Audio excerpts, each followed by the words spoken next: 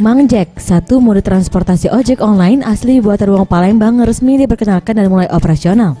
Dengan melakukan konvoi bersama dengan 450 driver Mang Jack, mengelilingi kota Palembang, dimulai dari Kambang Iwa, menuju Bukit Besar, kemudian Demang Lebar Daun, Basuki Rahmat hingga ke Simpang Patal, kemudian menuju Veteran, Masjid Agung Palembang dan kembali ke Kambang Iwa Palembang. Menurut Gunawan, Komisaris Mang Jack, konvoi ini diikuti 450 driver Mang Jack dengan tujuan untuk mempromosikan keberadaan Mang Jack, yaitu ojek online terbaru asli buatan Wong Palembang, sama seperti ojek online lainnya. Untuk per kilometer dikenakan tarif Rp2.000. Namun yang berbeda, Mang Jack lebih memberikan keuntungan kepada driver, di mana banyak bonus yang diberikan setiap hari hingga bulanan. Selain itu, akan diberikan bonus kuota kepada driver yang memiliki kinerja baik. Tujuannya Pak untuk pelaksanaan kegiatan konvoy ini apa?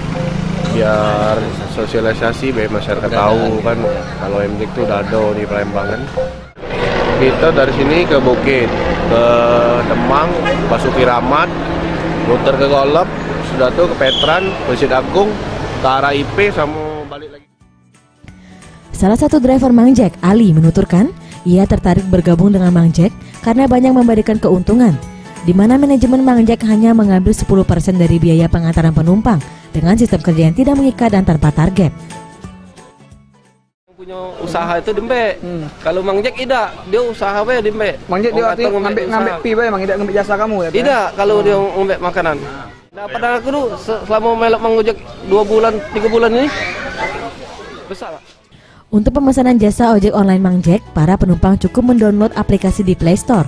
Dan di aplikasi Mang Jack terdapat beragam fitur yang ditawarkan, mulai dari pengantaran penumpang, makanan hingga barang. Selain kota Palembang, Jack sendiri telah beroperasi di Batam dan Jambi. Anugerah Sandi Pratama, Sriwijaya TV.